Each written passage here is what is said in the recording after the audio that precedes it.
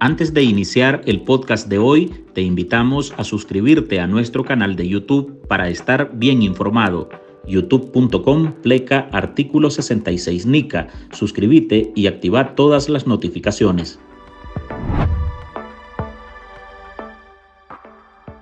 Hace tres semanas, la dictadura nicaragüense envió en calidad de desterrados a Roma a 19 religiosos católicos en el grupo están los obispos Rolando Álvarez e Isidoro Mora.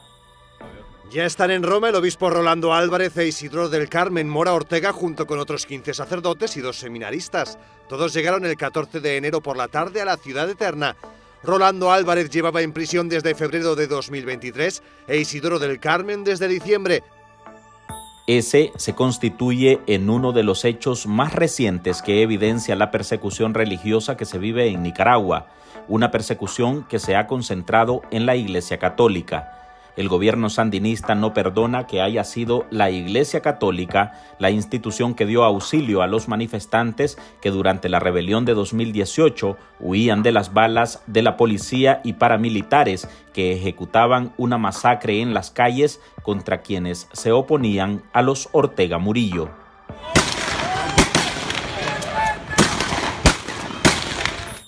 La Iglesia de Nicaragua ha sido blanco desde hace seis años de persecución, acoso, hostigamiento, profanaciones, acusaciones de lavado de dinero y sus líderes han sido víctimas de cárcel y exilio. Esa alarmante situación no ha dejado indiferente al mundo y Estados Unidos está pendiente de cada caso. Con preocupación, cuanto está veniendo en Nicaragua dove vescovi e sacerdoti sono stati privati della libertà. Esprimo ad essi, alle loro famiglie e all'intera Chiesa nel Paese la mia vicinanza nella preghiera. Mike Pence, quien fue vicepresidente de Estados Unidos entre 2017 y 2021 en la era de Donald Trump, instó al actual gobierno de Biden a presionar a la dictadura de Nicaragua para que detenga la persecución y asedio contra la Iglesia Católica. De lo contrario, advirtió, el país podría perder su acuerdo de libre comercio con la potencia del norte. Venezuela y Nicaragua merecen vivir en libertad y esta Casa Blanca siempre va a apoyar la libertad Pence, durante su intervención en la cuarta cumbre anual de la libertad religiosa internacional, solicitó a la administración estadounidense que no tolere más al régimen de Nicaragua acciones de opresión contra los líderes eclesiásticos y religiosos sin consecuencias. Nicaragua is, simply a case uh, in point dictatorial uh, and the church becomes la iglesia ha sufrido cerca de 800 ataques de 2018 a enero de 2024. En esa cifra se contabiliza el destierro, expulsión o prohibición de entrar a Nicaragua a 170 sacerdotes, incluidos tres obispos y 76 monjas. Hola, soy Álvaro Navarro y hoy en el podcast Ahora de Artículo 66 le presentamos Alerta a Ortega. Si continúa la persecución religiosa, podría perder el acuerdo comercial con Estados Unidos. Marlin Balmaceda consultó sobre las consecuencias que traería para el país quedar fuera del TLC con el país del norte y sobre las expectativas de un cese definitivo de la embestida gubernamental contra la Iglesia. I believe the time has come for the United States to make it clear to Nicaragua that we will not tolerate uh, uh, action against suppression of, um, of church leaders and religious leaders in Nicaragua without consequence. Look, we have, States, we have a free trade agreement with Nicaragua. We have the most powerful economy on earth. Mike Pence pide consecuencias severas contra la dictadura de Daniel Ortega. Cree que Estados Unidos debe castigar a un régimen que se ensaña contra los líderes católicos y uno de los sistemas que implementa una de las peores persecuciones religiosas del mundo. Este grupo de 19 personas se une al de 12 sacerdotes nicaragüenses que llegaron en octubre a Roma. Las relaciones entre el régimen de Ortega y la Iglesia Católica han degenerado en los últimos años. Además de encarcelar a sacerdotes y obispos, el gobierno expropió la Universidad de los Jesuitas y expulsó al nuncio del Vaticano. La tiranía orteguista receta cárcel, exilio o silencio a la Iglesia. No ha dejado ninguna parroquia libre de su vigilancia y acoso. Además, ha atentado hasta contra la vida de algunos de los máximos líderes de la institución religiosa. Un grupo de parapolicías irrumpió violentamente en el lugar y agredió a varios obispos, entre ellos el nuncio Stanislaw Sommertag, el cardenal Leopoldo Brenes y el obispo Silvio Weiss. La agresión ocurrió cuando los obispos llegaron a Diriamba para liberar a un grupo de paramédicos y misioneros franciscanos sitiados por los parapolicías en el templo. Y aunque se podría creer que el destierro es su forma de callar a los sacerdotes y obispos, las agresiones continúan. Este jueves se conoció que otro sacerdote fue bloqueado de entrar a su propio país. Se trata de Juan Ramón Montalbán, de la parroquia San Andrés Apóstol de Camoapa. El religioso volvía de una breve misión pastoral en España y a su regreso le notificaron que no había autorización para que ingresara a Nicaragua. Ortega quiere una iglesia vacía, sin líderes, sin voz. Y son esos casos los que Pence afirma no pueden quedar sin consecuencias, y por eso pide a Joe Biden que de continuar así castigue al régimen con la expulsión del acuerdo comercial con Nicaragua. Estados Unidos, si bien es cierto, es un país eh, laico, pero la religión tiene un peso muy importante en la vida de los norteamericanos. Dentro de la administración de Joe Biden.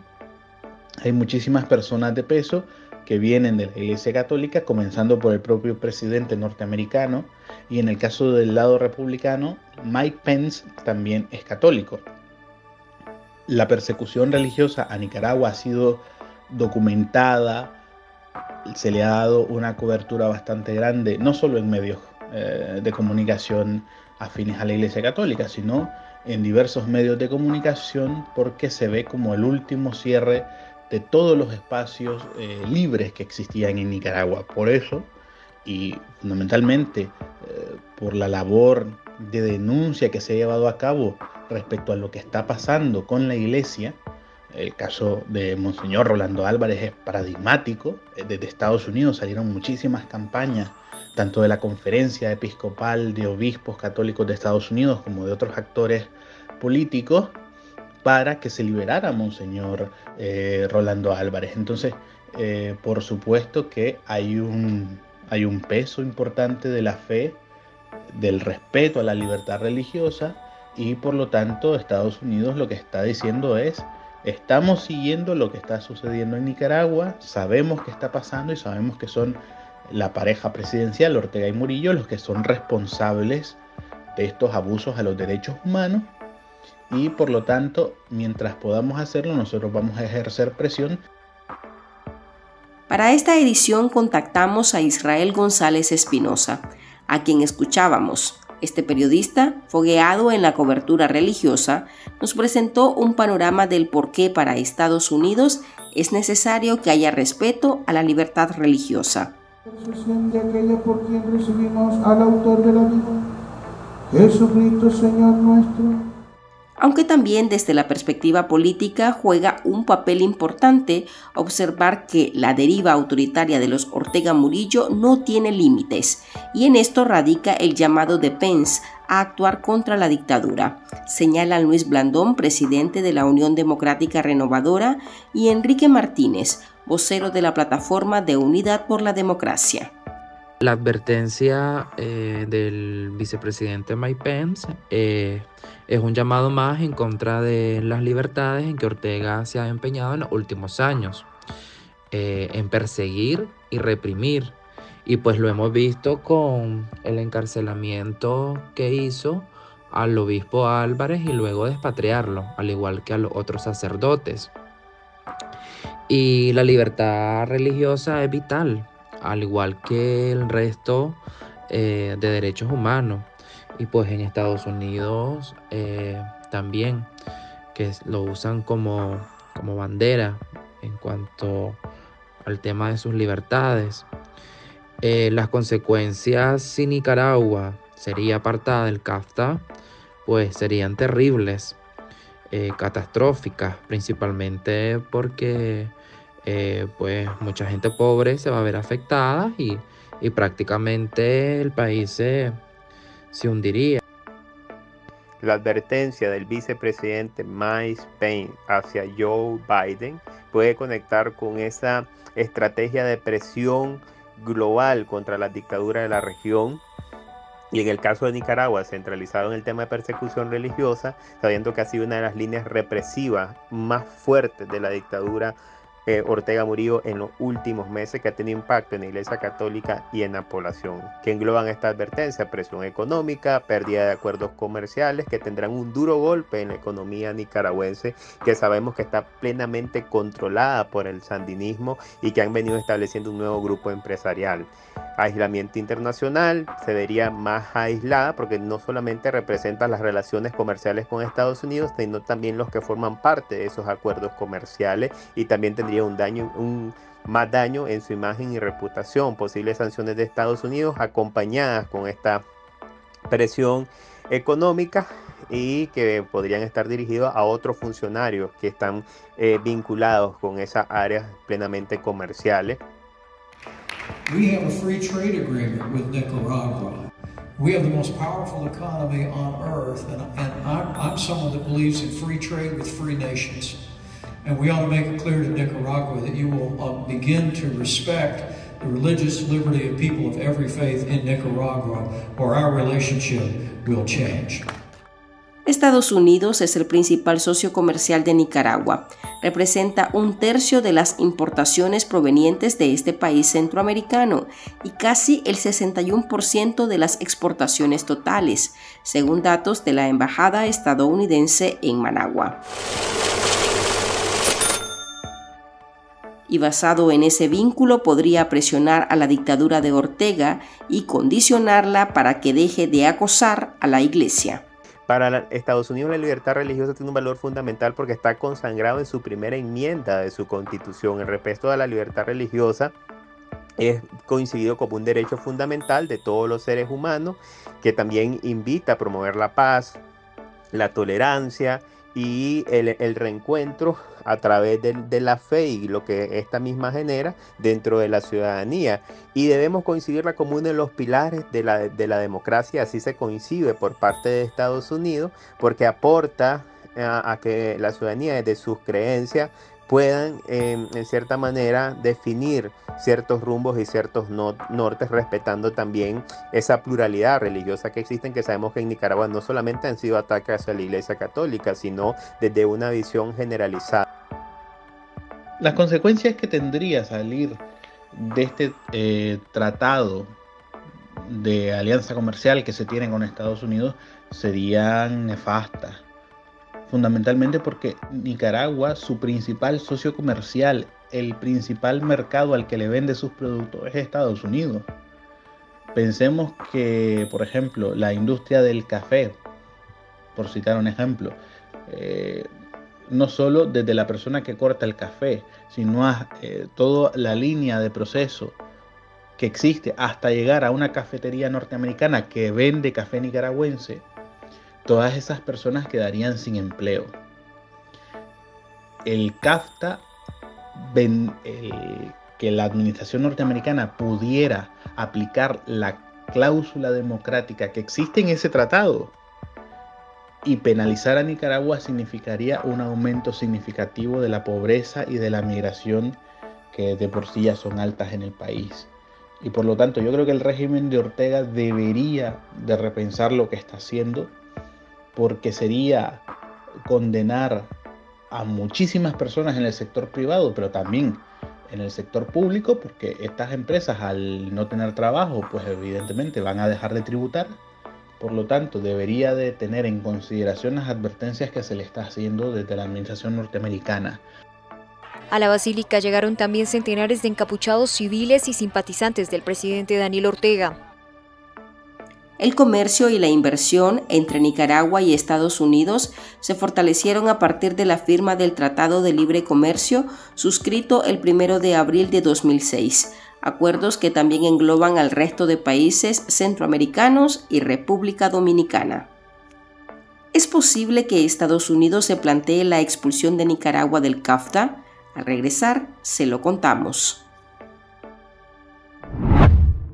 En artículo 66, un equipo de periodistas hemos asumido el desafío de seguir informando sobre Nicaragua pese a la persecución, las amenazas, el exilio y el bloqueo impuesto contra la prensa libre. Mantener esta trinchera en defensa de las libertades públicas de todos los nicaragüenses es un compromiso que hemos asumido porque Nicaragua nos necesita.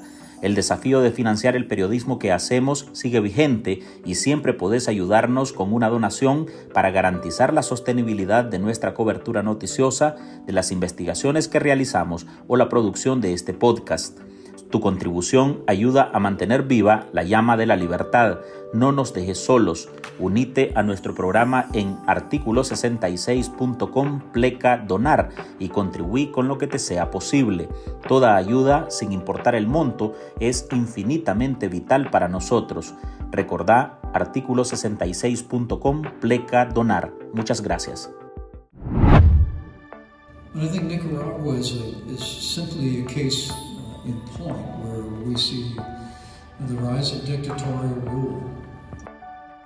El ex vicepresidente estadounidense ha pedido la revisión del TLC con Nicaragua ante las violaciones a la libertad religiosa que cometen el matrimonio dictatorial Ortega Murillo. Este tema no está en la agenda en Estados Unidos actualmente. Esta posibilidad, pues en este momento cercano, pues todavía no, no es posible, pero precisamente eso es uno de los retos que hay que seguir exigiendo que se revise el tratado y que se cumplan los acuerdos firmados, principalmente en las cláusulas que se establecieron. Se van a generar pérdidas de empleo, es cosa que esto es algo que hay que mencionar porque muchas empresas prácticamente van a perder su capacidad y entendiendo que en Nicaragua su mayor importe económico va de las exportaciones que envía hacia Estados Unidos, especialmente en el área agrícola. Vamos a tener disminución de inversión extranjera que ya vimos con la reciente salida de Nestlé de, Nicaragua, que son indicios de que ya eh, las empresas están evaluando de que viene un duro golpe con respecto a esta área y veremos una caída en el Producto Interno Bruto de Nicaragua aunque opositores no ven una alta probabilidad de que sea sencillo expulsar a Nicaragua de este tratado comercial. Washington se quedó sin embajador en Nicaragua a partir del 19 de mayo de 2023, día en que abandonó el país su representante en Managua, Kevin Sullivan. Las relaciones se degradaron a un encargado de negocios bajo la figura de Kevin O'Reilly. Nicaragua vendió en el exterior 952 millones de dólares en oro en bruto entre enero y octubre de 2023, muy por encima de los 927.4 millones de dólares de todo 2022 según datos oficiales. La nueva cifra representa un nuevo récord para ese sector cuyos principales administradores gubernamentales fueron sancionados por Estados Unidos. Hasta aquí llegamos con esta edición de nuestro podcast ahora de este jueves. Recuerde que usted puede sumarse a este programa a través de nuestra línea de donaciones para que podamos seguir ejerciendo el periodismo libre y defendiendo las libertades públicas. Puede dejar su contribución en www.articulo66.com pleca donar. Soy Álvaro Navarro, gracias por escucharnos.